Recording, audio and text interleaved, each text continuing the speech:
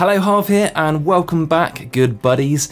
I get a lot of questions through this channel from you guys and by far the most common question is I'm having problems when I use S-Log2 or S-Log3, how do I use it and not get noise or other issues? So here are my five simple tips to improve the results from your S-Log footage.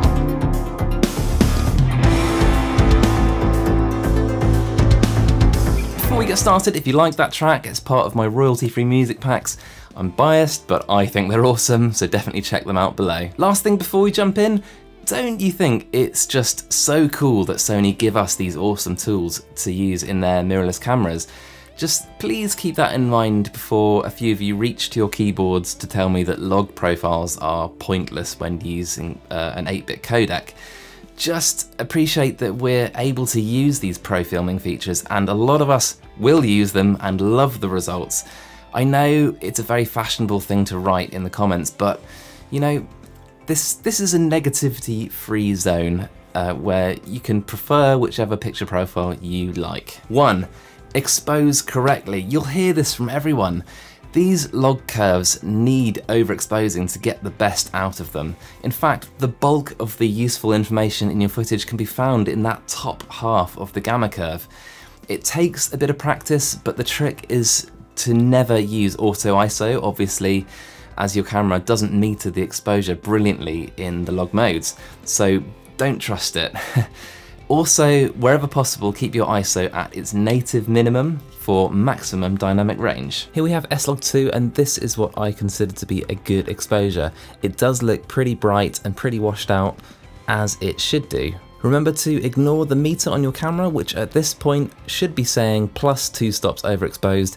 It's nonsense, ignore it. I've used exactly the same exposure settings for S-Log3 as I have for S-Log2. It does look a little bit brighter because that's the nature of S-Log3, it does just look a bit more washed out. If you're using a histogram to expose this, obviously make sure that it's nice and bright on the right hand side of your histogram. If your footage looks like this, however, I guarantee you will run into trouble when you come to grade it. This is absolutely underexposed by at least two stops. Now it's time to put a simple grade on them and see how they look. Back with S-Log2 and all I'm going to do is bring the exposure down just a tiny bit and then add a lookup table which converts it to Rec 709. And there we go, it's looking good, good colours, punchy, lots of dynamic range and no issues with noise etc.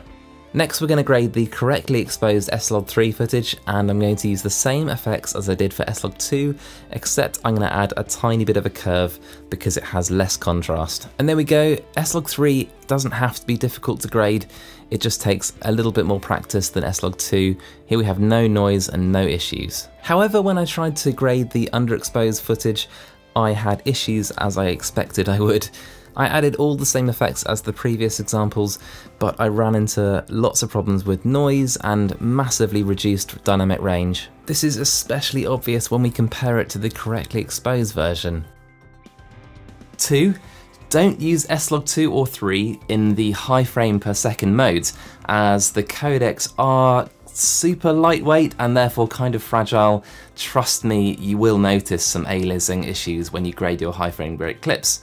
Let me show you what I mean right now. So this extremely interesting shot was shot in Cine 4 and of course it's going to need a little bit of saturation and contrast to look at its best. Once that's done you can see it looks okay, it's not as clean as I'd like it, but still it's acceptable and I think if I was filming something like a moving subject you wouldn't notice it would still look good.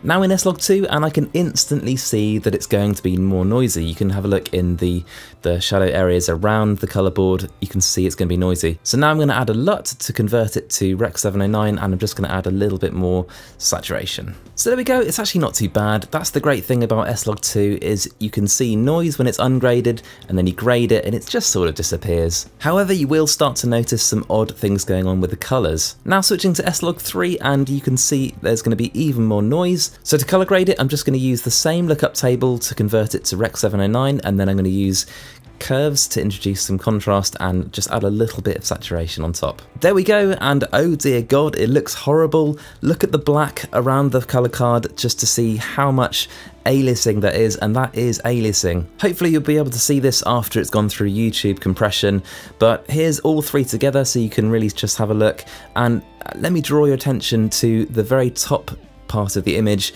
where you can see the black background. Uh, what's the word? Disgusting. Three, I prefer S-Gamut 3 Cine colour space or one that's smaller.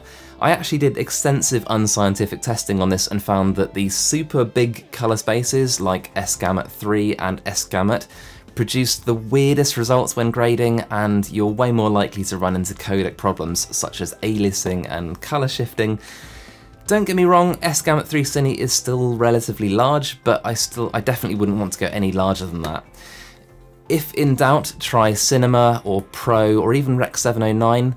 Um, you know, these smaller colour spaces that, you know, basically just give you really punchy colour. So I chose this scene again because it has quite nice colours. It's got the natural green of the trees and the blue of the sky. So with all of these examples, I've tried to grade them as naturally as possible to get the truest image. That way you can just judge the one you like the most. However, as I mentioned, I don't like the gigantic colour spaces like S-Gamut. The largest that I go is S-Gamut 3 Cine, which is still considered a large colour space, but it's one that I find the most pleasing once graded. Guys, there's no right or wrong, just try which one you like and use that. 4. When you're grading your log footage, add curves rather than just boosting the highlights and shadows. And I say this because log footage needs almost sort of decoding to get the best out of it, and the way to do that is to use curves. That way you can get that nice gradation in your highlight and shadow areas. Here we are again with S-Log3 and once again I'm going to need to use a lookup table which converts it to Rec 709 and then all I'm going to do is tweak the highlights and shadows to add some contrast. At first glance I look at this and I go well it looks pretty good, I'm quite happy with that. But now let's compare it to the same clip but with curves instead. And bam! What happened there? I bet you're thinking, what just happened? It is kind of subtle and it's hard to tell from, you know, switching from one clip to the other. So now let's look at them side by side. And now you can see a difference. The clip on the left, you can see her face looks a lot more flat and sort of two-dimensional. On the right with the curves, you can see it really does look much more three-dimensional. You can actually see a lot more detail in her face and you can see more of that sort of shadow roll off. And when we punch in, you can see this is even more obvious, particularly on the key light side of her face, where you can see the highlight roll off is so much nicer. And all I did was just manipulate the curves from the built-in plugin in Final Cut Pro. If you'd like to see a video about how to use curves, or how I use curves anyway, drop a comment below and let me know. Number five, always apply a lookup table or LUT, whether it's just simply a log to Rec 709 LUT or something more exotic.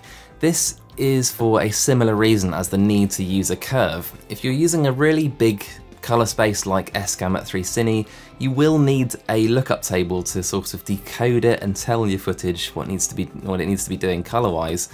If you try and just add saturation, you'll no doubt be disappointed with the results.